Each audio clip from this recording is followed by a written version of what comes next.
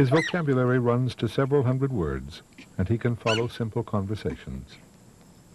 His name is Kanzi, and Kanzi is an ape. You're gonna help get some sticks? Good. I need more sticks too.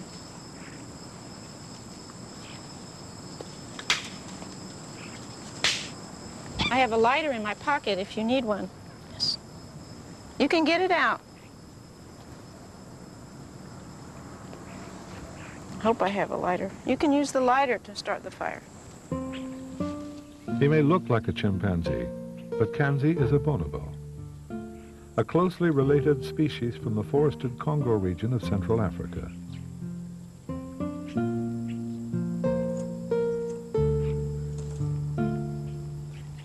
Bonobos are highly intelligent and physically similar to human ancestors, whose remains are found in this cradle of mankind, the Great Rift Valley of East Africa.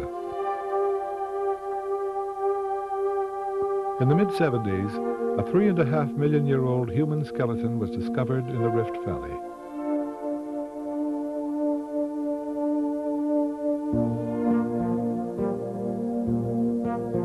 She was named Lucy for the Beatles song, Lucy in the Sky with Diamonds, which happened to be on the radio at the time. The hominid Lucy and bonobos like Kanzi share a remarkable number of features.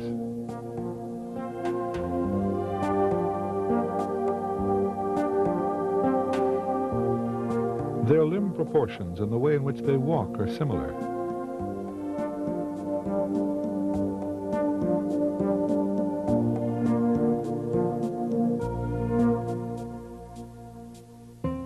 Which returns us to Kanzi, the bonobo who shares features with our own human ancestors.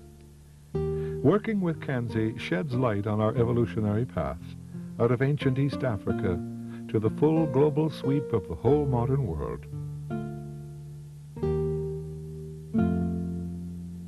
Georgia State University's Language Research Center, Kanzi's home, is set among 50 wooded acres just 20 minutes from downtown Atlanta. Researchers here study language development in human children by comparing it with language development in our close relatives, apes.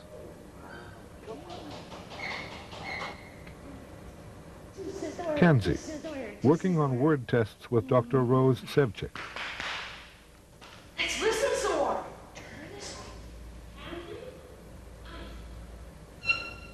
I. Yes, very good. Kanzi is distinguishing spoken words. First, the researcher says a word. Balloon. Balloon, yes. To answer, Kanzi presses a picture symbol, which triggers an electronic voice. These 256 symbols bear no visual resemblance to test words, which include adjectives, verbs, even wishes and emotions. Potato. The board includes abstracts like good and bad. Some human adults working with Kanzi have taken a year to memorize these symbols and master the board. House. Right. Rock. Good, Kanzi. Kanzi. Chicken.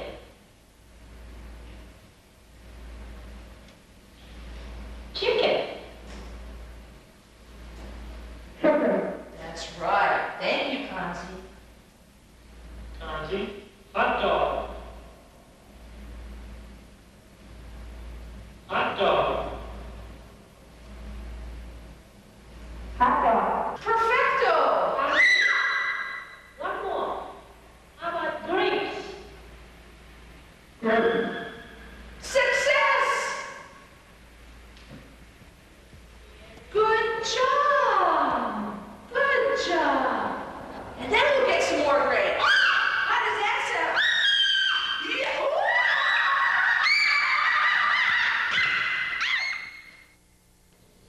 Dr. Sue Savage Rumbaugh is one of several people who care for Kanzi at the Language Research Center. They often prepare their meals together. Here's some cheese. You put that in your tummy. This is going to be for our hot food. Okay, I want you to go put the onions in your hot food. I got the onions in a bowl. Let's go put them in our hot food, and we'll come back and turn the TV on. Get your onions right here and put them in your bowl. Look, you spilled some of them. Savage Rumbaugh has monitored Kanzi's language development since soon after his birth, 13 years ago. Let me get you a spoon to start with, Kanzi.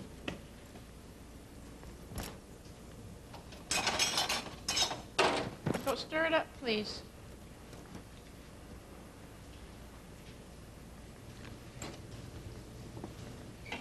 Yeah.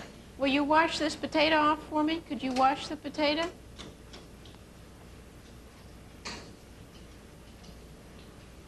The water. You need to wash it in the water.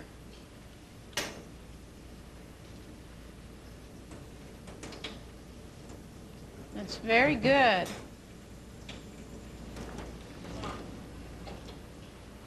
Put some water in the pan for our noodles. More water, more water.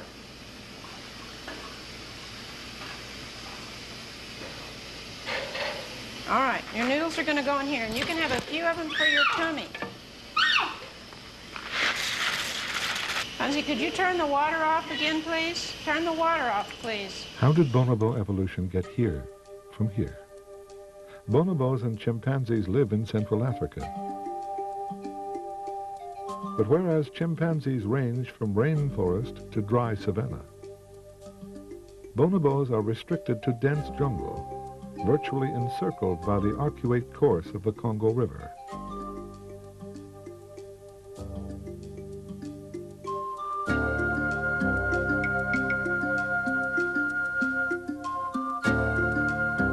Central Africa, bonobo country, undisturbed so far by man. Until the 1970s, bonobos were not recognized as a species distinct from chimpanzees. They are smaller than chimpanzees and very gentle.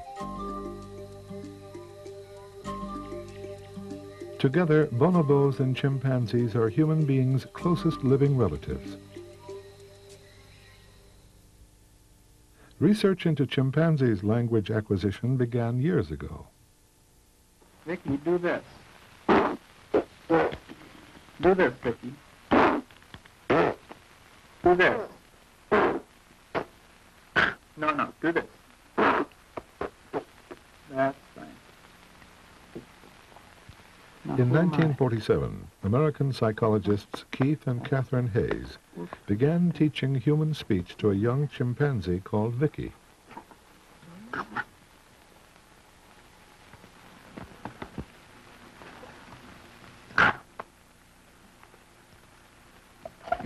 Say what this is?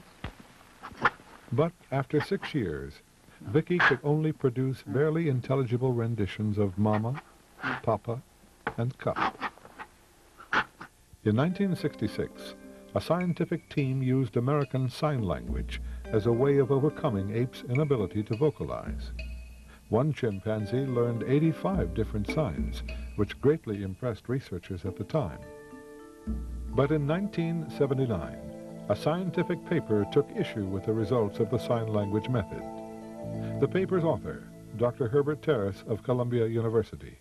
what I saw was that the chimp was more or less mirroring or shadowing the teacher signing. That the teacher would sign something to Nim, and Nim would um, feed it back, either the same sign or related sign, or throw in a few general purpose signs. Terrace reached his conclusion after analyzing sign language used by his own research subject, Nim. Discouraged, attempts to teach language to apes waned for a while.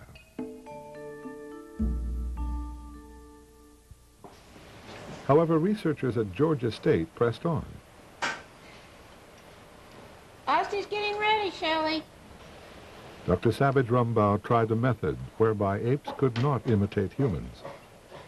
Wearing headphones, the subject responds to a hidden questioner by selecting the appropriate photograph. Ready, Shelley? Austin, find the apple. Give it to Sue. He gave me kiwi, Shelley. Shelley says no. Wait, just wait. Just leave these there. Find the snake. The snake. Wrong again. All right, Osty, I need to listen through your headphones and see what it is. Austin has mean, difficulty with headphones, but what if he can see the speaker? Osty. Snake. Snake. Very nice, Austin. Very nice. Find the apple. The apple. Once more with headphones, and once again, wrong. No? All right. Let, let me have your headphones and let me listen to Shelley. Now, what happens when Austin hears the question face to face? Apple. Apple. Apple. Very nice, Austin. In the end, the results of similar tests with Austin proved inconclusive.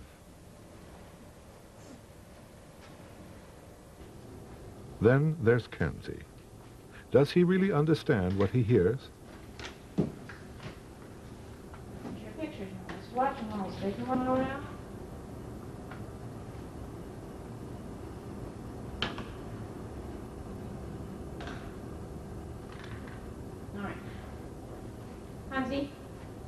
See if you can find mushrooms. Mushrooms. That's right. Those are the mushrooms. Real good. Can you turn back around? Okay. Now, now. Okay, you're doing real good, Kanzi. See if you can find Madhu, the orangutan. You see Madhu? Good job. Good job. See if you can find some melon. Melon. Melon. Thank you. See if you can find green beans. Green beans. Very nice. See if you can find a picture of Sue. Sue. Very nice. Thank you. That's me. See if you can find a picture of coconut. Coconut. Good. Good job. See if you can find a picture of oranges. Oranges. You see a picture of oranges? Thank you very much, Kanzi. See if you can find a picture of banana. Banana. Very nice. And now we need uh, Panbanisha. Do you see Panbanisha? Another bonobo. Thank you. And now we need keys. Do you see the picture of keys? Thank you, Kanzi. And now we need... Obviously, Kanzi can choose correct pictures in response to Sue's voice. Oh, that's the last But how about other voices? Unseen voices. I don't have any more on my list. Kanzi, come on. We're all set. We're ready.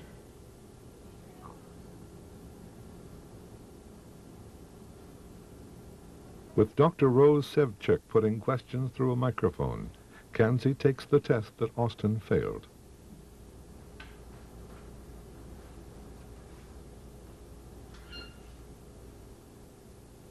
Will Kanzi still be able to distinguish words? Kanzi, give Sue the picture of Jews.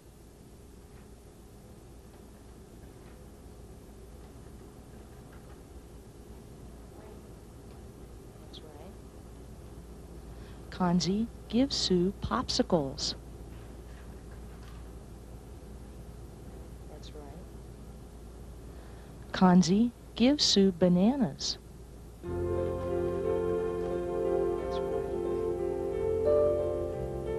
Kanzi, give Sue ice.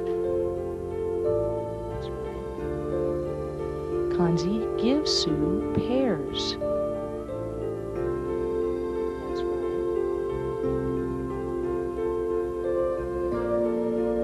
Kanzi, give Sue potatoes.